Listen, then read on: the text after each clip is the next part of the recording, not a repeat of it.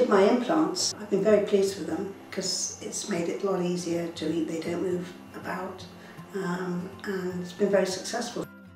I know that you always strive very hard for perfection um, and I've got confidence that you're going to get it right um, and I enjoy coming here. I'd certainly recommend that other people come to Southern Smiles.